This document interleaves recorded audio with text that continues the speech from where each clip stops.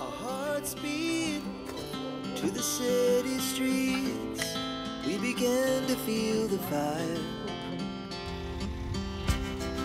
We rise like tall buildings as the chemicals they take us higher.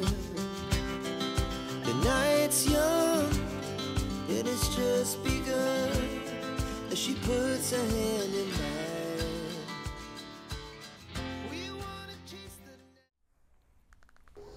Bu yıl ne yazık ki yalnızca bir kez kar örtüsü kapladı bahçemizi. Ee, onu da hemen fırsattan istifade kaydettim biraz. O görüntülerle başlamak istedim ee, Çelik Villa'da Yaşam serimin 3. videosuna. Kendi kendine böyle bir seri oluştu bir anda.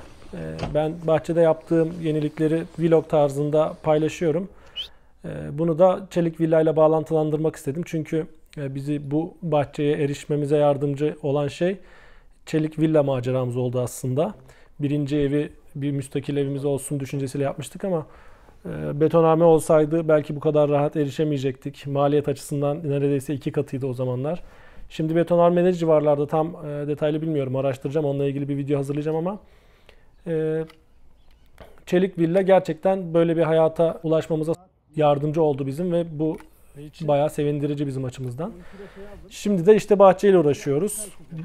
Bahar erken geldi. Havalar ısındı ve ağaçlar tomurcuklanmaya başladı. O yüzden müdahale etmemiz gerekiyordu. Budamayı ben biraz öne aldım. Ee, budama için Galip Bey var. Bu konularda bize sağ olsun yardımcı oluyor. Çim biçme ve budama konusunda hatta ilaçlama konusunda. Ee, bu kayısı ağacımız geçen yıl budanmasına rağmen ciddi anlamda sürgün verdi. Çünkü çok su alan bir noktada. Aslında meyvelenmesi açısından e, çok fazla su alması çok avantaj değil ama biz sadece meyvesi için değil yeşilliği için de seviyoruz tabii o ağacın formunu. O yüzden çok müdahale ettirmedik. Sonrasında e, bütün ağaçlar budandıktan sonra e, yavaştan çim biçmeye geçildi. Çimlerimiz çok uzun değildi ama bir kendini formunu yakalasın diye bir de e, şeklini görmek için ben en kısa haline getirtmek istedim onu. Çimlerimiz biçildiğinde görüyorsunuz üstünden geçtiği noktalar daha düzgün görünmeye başlıyor. Biraz sarardı tabii. Kış dönemini atlattık şu anda. Ee, onun için bir özel gübre var, bir karışım var. Ondan hazırlatacağım ben. Onu atınca ve bir de düzenli bir şekilde sulamaya başlayınca koyu yeşil halini alacaktır tekrar. Burası tüm gün neredeyse güneş alıyor. O yüzden biraz zorlanıyor ama yine de e, çimimiz iyi durumda. Bazı boşluklar var. Onları da kendim dolduruyorum şu anda. Onun da videosunu hazırlıyorum. E, budama ve çim biçme işi bittikten sonra da ilaçlamaya geçtik en son. İlaçlama için e, traktörünün motoru var. Bu konuda e, Galip Bey bayağı deneyimli. Bordo bulamacı yapıyoruz. Bordo bulamacı özünde mantara karşı bir önlem. Ama tabii e, başka şeyler için de faydası oluyor ağaçları koruma açısından. Bir sonbaharda bir de ilkbaharda önerirler bunu. E, yaprak döktükten sonra ağaçlar uyumaya yakın bir de uyanmaya yakın. Ama ben yılda bir kereyi e, kafi görüyorum. Bakalım bu yıl deneyimleyeceğim, gözlemleyeceğim. E, üst bahçede birazcık çekim yaptım. Tamamını tabii ki çekmiyorum sizi de çok sıkmamak adına. E, şöyle bir aşağı bahçede de bakın e, bütün ağaçlardan çıkan, geçen yıl budanmasına rağmen e, bayağı sürgün vermiş. Bütün çıkan e, dalları da ben alt bahçeye yığdım. Onlar bayağı bir yer kapladı orada. Büyük olasılıkla belli bir bölümünü yakacağım. Görüyorsunuz şu anda e, bayağı büyük bir istif oluştu orada. Bunlar tabi bir tahra yardımıyla onları kesip mangaldır, ateş tutuşturmaktır ya da başka amaçlarla kullanılabilir ama şu an ayağımın altı açılsın diye o bölümde çalışmalar yapıyorum. Kullanacağım ben onları. Belli bir bölümünü de yükseltilmiş yataklar yapıyorum biliyorsunuz. Onların zeminine çok fazla toprak gitmesin diye organik bir malzeme olarak bu ağaç dallarını sereceğim. Onun videosunu da hazırlayacağım. Yakında göreceksiniz. Bu kanalda paylaşırım. İlginiz varsa bu tarz şeylere abone olmanızı öneririm. Şimdi e, bir time lapse yapıyorum burada ateş yakarken. Yaş olmasına rağmen e, dallarımız önce ateş onları kurutuyor tabi. Sonrasında yakıyor bir şekilde. Fazla bir kimyasal da kullanmadım. Kendi kendine yavaş yavaş yandı burada. Ee, etrafa tabii dağılan çok fazla ağaçların altında olanlar da vardı. Ayağımın altında olan da vardı. Bunların hepsini topladım. Belli bir miktarını yaktım. Belli bir miktarını da dediğim gibi yükseltilmiş yatakların zemininde kullanacağım.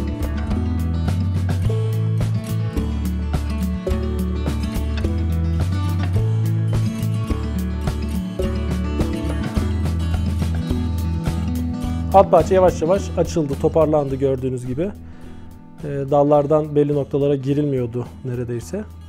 Ee, Bayağı aslında çok da sulamamıştım bu bölgeyi ama yine de iyi bir şekilde boy verdiler. Bazılarının formları çok iyi değildi. Onları biraz düzelttik. Bahçenin içinin görünmesini engellesin diye çok kenarlarında olan dalları budamadık. E, Çoğu bitti. Ateşimiz yandı. Sonrasında bahçenin dışına da bir peyzaj çalışması yapmayı düşünüyorum ben. Burası Atatürk Orman Çiftliği'nin bitki satış serası. Buraya bazen iş yerim yakın öğle aralarında geliyorum. Biraz bitki bakmaya gelmiştim. Altın çanak beğendiğim bir bitki. Görselini koyarım şimdi şuraya. Ee, büyüdükten sonra nasıl olduğunu. Bunlardan 10 tane aldım. Evimizin karşısına, sitenin duvarının dibine e, bir önceki videoda temizlemiştim orayı hatırlarsanız. Oraya bunlardan dikmeyi düşünüyorum. E, belli miktar aralıklarla. Aralarında da herdem yeşil kalan başka bir ağaç türü düşünüyorum. Bunlar kışın yaprak döküyor. E, o sokağa girildiğinde bir farklı bir yere geldim. Güzel bir görüntü olsun, hissiyatı olsun istiyorum. Arabanın bagajında götürüyorum. Bunlar akşama kadar benimle bekliyor iş yerinde. Biraz havalandırma da açıyorum tabii. Sonrasında da daha sonra uygun bir zamanda dikeceğim. Buraya gördüğünüz gibi dikiyorum bunları.